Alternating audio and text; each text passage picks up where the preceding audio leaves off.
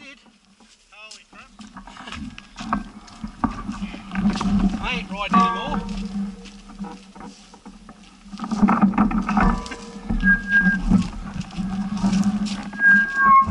Old derailleur broke.